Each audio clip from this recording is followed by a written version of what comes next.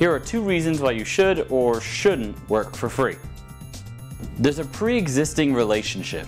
Either you know the person or the company and you support or believe in what they're doing.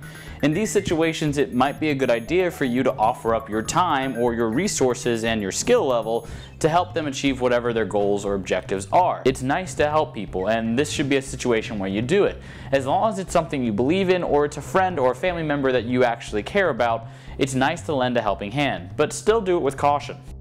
There's a mutually beneficial relationship here, meaning there's something to be gained for both parties. Even though it might not be monetary, you may be able to gain experience or exposure or just some knowledge of how the company or business works. You should never work for free if someone asks you to. These kind of people don't understand that your time is your money and they're okay with stealing your money and taking advantage of you. We'll turn them over to the police, then check with Commissioner Gordon. But this isn't fair. If you go to any other job, you wouldn't ever ask someone to work for free. So why ask a photographer or a videographer to do their job for no pay? It doesn't make sense. By offering your services for free, you're devaluing your own product. I know how many of us in our minds think, if I do it for free now, they'll come back and charge later.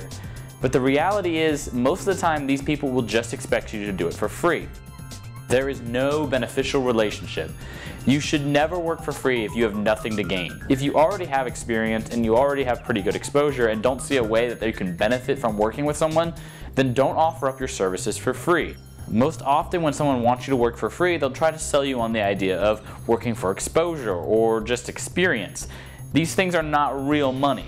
Working for exposure or experience doesn't take the place of cash, and just because someone offers it doesn't mean you should still do it. I hope you enjoyed the video. If you haven't already, be sure to like and subscribe to the channel. New videos drop every single week. These videos drop on my Instagram every Tuesday, so be sure to follow me there. Link is here and in the bio below. So be sure to check me out there. Otherwise, guys, have a great time creating. Peace.